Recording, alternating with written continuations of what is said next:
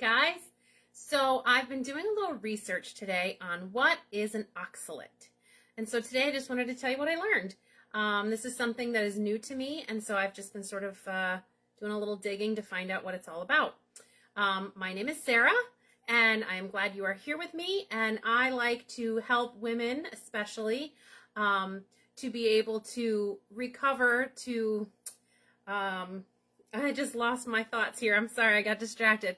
Um, to really be able to regain their mental wellness through um, through nutrition, through biblical encouragement, through learning some of these different ins and outs of the body, and through proper supplementation. So that is what I do. That's why I'm here.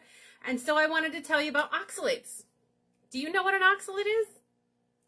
I have a friend who keeps talking to me about oxalates because she knows that I'm into gut health and all of the things with proper eating and all that stuff. And so she's like, oh yeah, I have to eat this low oxalate diet. And I'm like, I don't know what that is. so if you know what that is, tell me uh, that you know what that is. Um, and maybe tell us what you think it is in the comments. Um, so I decided I better look it up because she keeps talking to me like I know what I'm talking about, and I don't. So here we go. So I looked it up, and apparently there's this thing called low histamine, uh, and you have a histamine reaction to food. And um, if you're dealing with that, um, they tell you to avoid foods like that that are, that are histamine, and there's like a huge long list, and it causes all these kind of issues. But when you um, don't seem to have any response to that, you may have an oxalate issue. So an oxalate naturally occurs in our bodies and in plants. And so their main job in our system is to gather up all the excess, um, what do you call it? My brain is calcium. That's the word. The excess calcium in the foods that we eat and that are, wander around in our body and move them out. Um, but what happens is when our guts, which I was like, of course, why didn't I not know? Um, when our guts get out of balance from stress, you know, by the way, I just want to address that for a second because a lot of people listen to people talking about gut health and they're like, well, I don't have a gut health issue because I eat well. But gut health can come from, or gut health issues can come from being stressed all the time, having like a high stress life. And, and I don't mean stress like you're frantic all the time, but if you're just like always on, so that can affect it. Also, um, yeast overgrowth, antibiotics, things like that can affect the balance in the gut.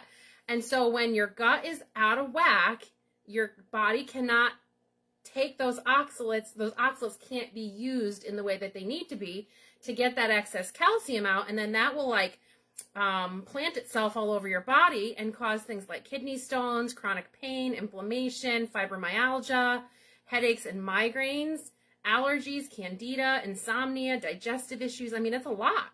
It can really wreak havoc on your body.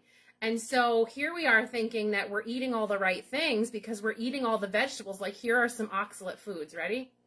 Um, oh, wrong list. Here we go. Berries, kiwis, figs, purple grapes, potatoes, rhubarbs, okra, beets, spinach, leeks, celery, plantains, sweet potatoes, olives, peanuts. I mean, there's a list. There's a huge list here of things that we eat regularly because we're like, these are really good for you. And they are. until they're not. And um, that happens when they're out of balance. And a lot of that comes from having a leaky gut issue that unfortunately a huge portion of the population has and doesn't even know it. And so when you're getting brain fog or when you're getting insomnia and you're not sleeping well or um, when you have like achy joints and things and headaches, um, maybe you just don't go to the bathroom enough. Um, you should be going at least once a day, probably more like two, sometimes three. So when you're having all of these issues, you're like, oh, I'm just having this little issue, but they're all interconnected. And one of the reasons is because of these things called oxalates. And so I thought that was very fascinating. Um, and to think you're eating all of these really good things. I mean, there's berries are supposed to be one of the best because they're easy to process on your body normally and they don't raise your blood sugar, but they cause an issue when you come to histamine and oxalate. And so the answer is to uh, not to just give them up forever because that's just a band-aid, right? we want to get to the root of the problem with all of these chronic things that we deal with. We want to get to the root of the problem and make some progress. I know for me, that was my biggest frustration when I wasn't feeling well is nobody wanted to get to the root of the problem. Everybody just wanted to give me pills and band-aids. Um, I want to get to the root because I want to get better. I don't want to just be on your pill forever, you know? Um, I don't want to be in your office every five months because I'm so sick or whatever. So anyway, so how do you fix an oxalate issue, a histamine issue? Um, there's some other ones that I, I don't even know how to say it. There's a Sally salicylates, I don't know, salicylates, something like that. Um, all of these issues in your system, how do you fix it? Well, if it is a gut issue that's causing all of these other issues that you didn't know were connected to your gut, you start in the gut. So um, there's lots of really good ways to work on the gut, but when you're having this kind of a flare up, you have to really be smart about the vegetables you're using because you need them because the fiber feeds the good bacteria. So you don't want to just not eat them, but you have to be smart about which ones you're eating um, so that your body can sort of settle down and not have as many oxalates to deal with. Um, so anyway, um, yeah, so you want to work on that root cause, get in there and deal with that. Pay attention to what you're eating. And there are really some really great resources out there for how to, you know, what the right way to eat for, for something like this, for an oxalate issue or a histamine issue. But it's not forever, which is really encouraging because you can eat that way and lower the, the uh, load on your body to work hard. It can lower that down and your body can start to heal and refunction um, you can start getting some better sleep. And then also supplementation makes a big difference because to be honest, we don't get really good quality nutrients from our foods for the most part these days. And I buy, I, I'm, I spend the money on getting organic and grass fed, and but still, it's just not enough on um, with the depletion of all of our nutrients in our food sources. So um, supplementation is huge. It's a big deal. And so, um, yeah, so if you've been struggling with things like fibromyalgia, kidney stone, regular kidney stones. I had a friend who got them like three or four times in a row. Um, chronic pain, inflammation, headaches, allergies, candida, which is a yeast overgrowth if you don't know about that, insomnia, any other digestive issues. The list is really long. There's lots of things. If you've been struggling with any of those things and you just think, oh, I have this issue or I have that issue or I have these two issues and you don't realize they're connected, let's talk about it um, let's look at it together and see if there could be some sort of underlying cause. I'm not a doctor, but I like to find the, the nitty gritty.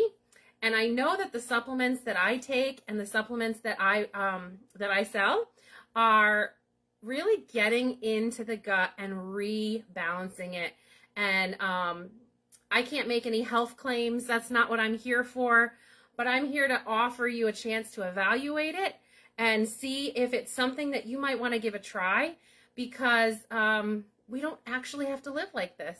We don't actually have to live in these chronic states. We can get to the root because now we're starting to know what the root is. We didn't know what the root was before. And so we as in science, not we as in me, because I'm just learning all of this. But um, so I just found this super fascinating. And so if you want to talk more about how to um, work on your gut health so you can deal with things like this inflammation and the allergies and things like that. Let's talk about it.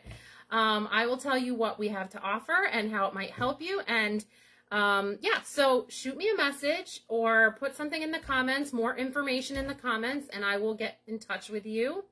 Um, it's a it's a no risk guarantee, 12 month money back guarantee. So um, if you want to check it out and just evaluate and give it a try, um, there, you know, if it doesn't work for you, it doesn't work for you. But I think it will because uh, everybody, I just see so many great results. So anyway, that's the story on oxalates. Um, I was really intrigued by it because I'm going to make for dinner this week um, a Mexican stew that is oxalate free, and I didn't understand what that meant. So here we are. And I probably will talk to you a little bit about that recipe when I make it um, to show you how easy it is and um, give you another recipe in your toolbox. So anyway, thanks for listening, guys. Let me know if you want any more information on oxalates, whatever I can, I can send you a, a really good article on it, um, or any more information on supplementation. and what we have to offer over here. So, all right, take care. Bye.